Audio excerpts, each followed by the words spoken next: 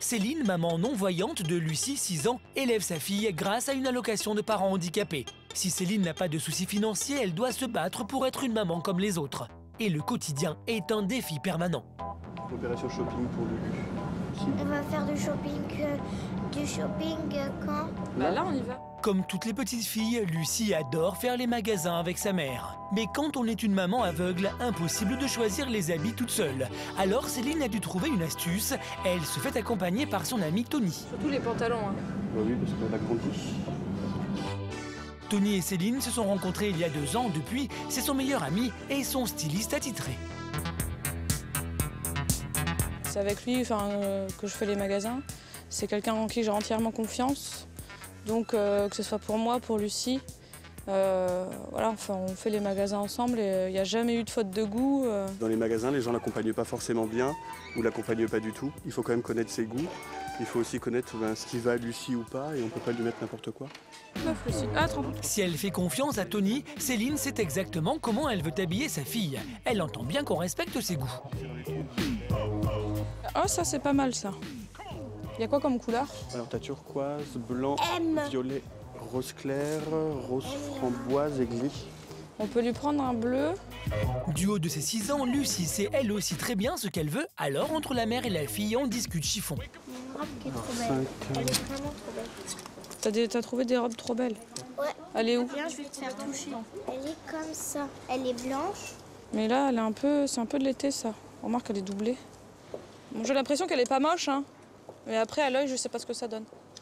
Tony?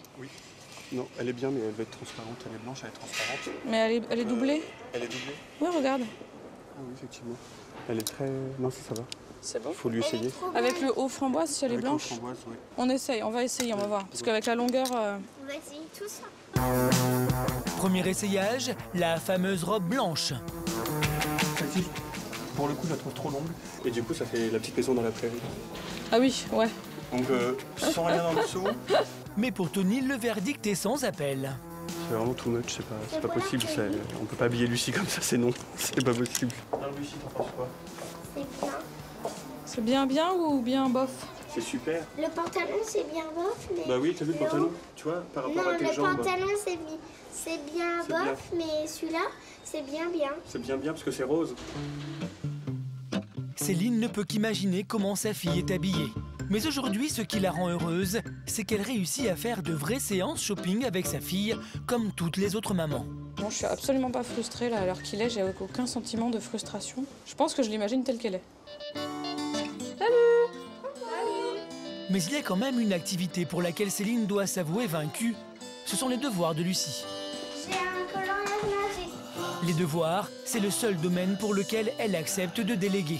Tous les soirs, c'est Tiffaine qui fait réviser Lucie. 3 plus 3 plus 1, Égal 7. Voilà. Ils viennent euh, pour euh, m'aider à faire les devoirs, pour les réflexions. Parce que maman, elle voit pas et elle sait pas ce que je fais si je aidais pas. L'apprentissage, euh, pour moi, c'est euh, quelque chose de primordial. Donc, je peux pas aujourd'hui dire euh, bon, bah alors je vais me débrouiller comme je peux. Il y aura personne à la maison pour les devoirs. De toute façon, je fais confiance à Lucie. Et puis qu'à la fin du trimestre, on reçoive des, euh, évaluations. Bah, l'écriture est mauvaise, la lecture est pas bonne. et puis, je- je peux pas, peux peux pas faire ça à ma fille parce que c'est lui mettre une balle dans le pied. Tiffaine suit Lucie depuis la maternelle et d'année en année, la petite fille a bien progressé. Loin de l'avoir pénalisée, le handicap de sa mère semble même l'avoir fait grandir plus vite. Moi, je trouve qu'elle est beaucoup plus autonome que n'importe quel enfant. Je pense que c'est lié au handicap de Céline. Il y a déjà quelques années, elle savait lire les lettres euh, des bus, euh, etc. Elle savait où s'arrêter, elle savait, euh, elle savait déjà pas mal de choses. Pour les devoirs, il y a une matière que Céline se réserve, c'est la lecture. Tous les soirs, avant d'aller se coucher, la mère et la fille se retrouvent autour d'un livre. Quand on est maman seule, on n'a pas un moment réellement où on va souffler, où on va se poser, pouvoir être tranquille. Donc je pense qu'une fois que tout est fait, avant de dormir, on a le temps de s'accorder un petit moment à nous, quoi.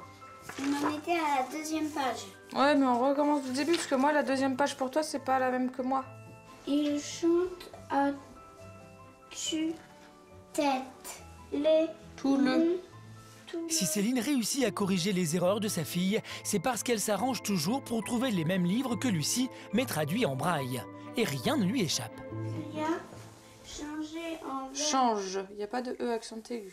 Grâce à la détermination de sa maman, Lucie a une vie parfaitement normale. Et comme tous les enfants, elle souhaite inviter ses copines à la maison. Mais pour sa maman, cela s'annonce beaucoup moins amusant. Comment Céline va-t-elle s'y prendre pour ne pas que cette invitation tourne au fiasco?